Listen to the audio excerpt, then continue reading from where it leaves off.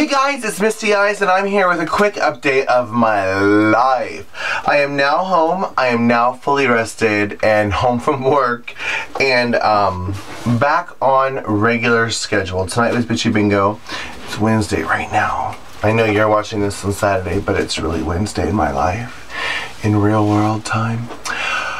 Yeah, I just finished Bitchy Bingo. Um, I was off yesterday, but I slept all day and all night because I hadn't slept for like a week. I was getting ready for a national pageant and using all my free time preparing.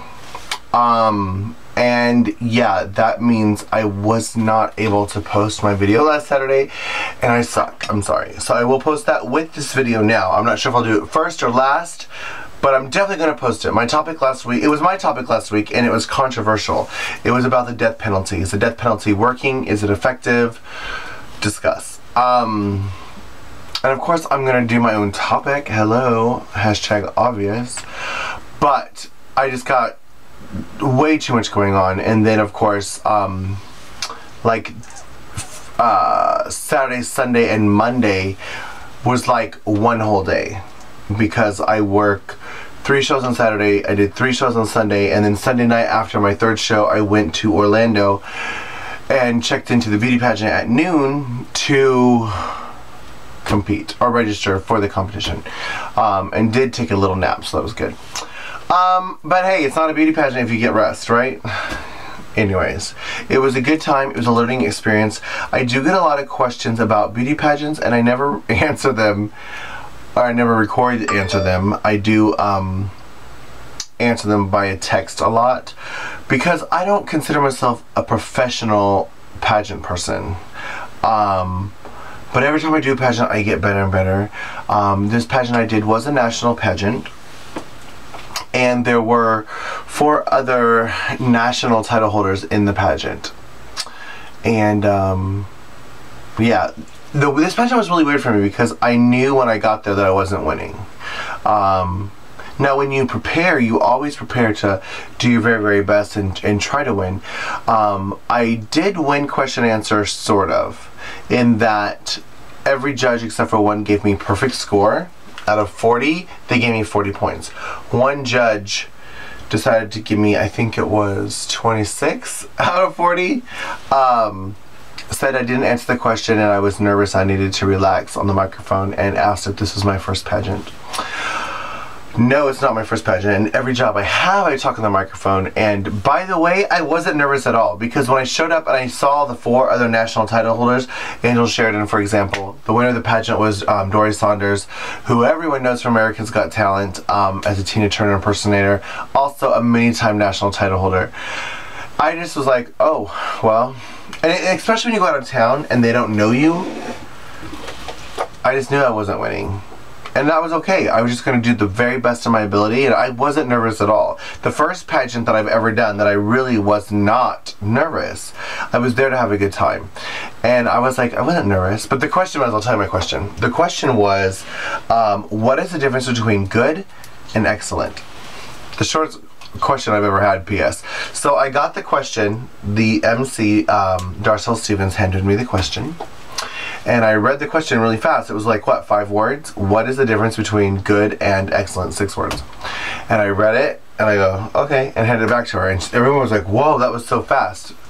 Because um, I guess a lot of the contestants read the question four or five times before they handed it back so they could think of their answer. But I knew what I wanted to say. Um, I got this. I usually win on city question and answer. Um, so I said, I was actually going to say something catchy and fun. Like, I practiced or thought about saying, um, Good evening, ladies and gentlemen. I'm your fat girl number nine, but I chickened out. I was afraid. So I just said, Good evening, ladies and gentlemen. I'm your large and lovely contestant number nine. In response to the question, What is the difference between good and excellent? Good and excellent, that's very vague, that's very broad. Let me narrow it down into a specific category that everyone can relate to. Haircutting. Everyone's gotten a haircut. So let's talk about hairdressers. The difference between a good hairdresser and an excellent hairdresser.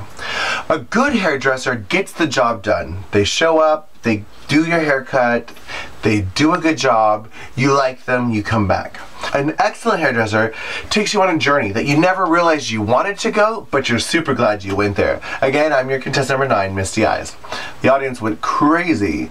Um, the judges were all nodding, and like Darcel even said, "Wow, you did that," and I got very, very many compliments on my question answer. But I lost that category by one point because one of the judges came for me. But it's all good. I had a great time. I made some friends. I competed against a couple of my friends. Um, it was a good time. I'm really glad I went. I felt I was beautiful. Um, yeah.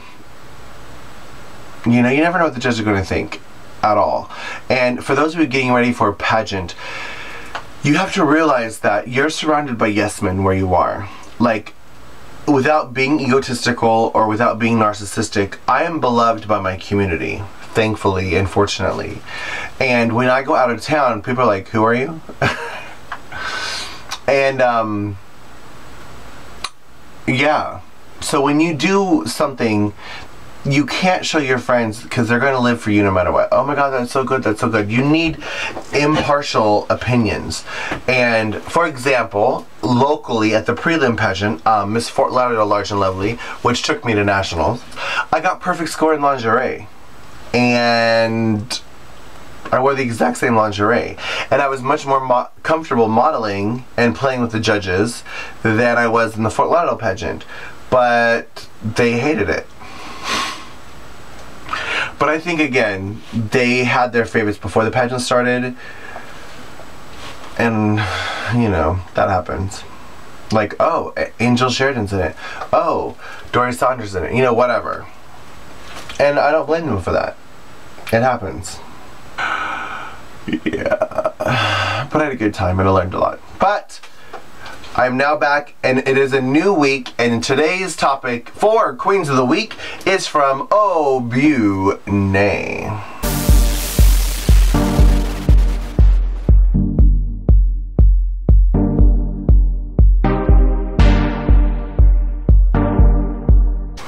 And she has a four-part question. What do you personally get out of doing drag? What's the most fun part about doing drag? What's the worst part about doing drag? And finally, who would you choose to impersonate on the Snatch game? You're welcome. Alright, so let's talk about drag. the first part is what do you personally get out of drag?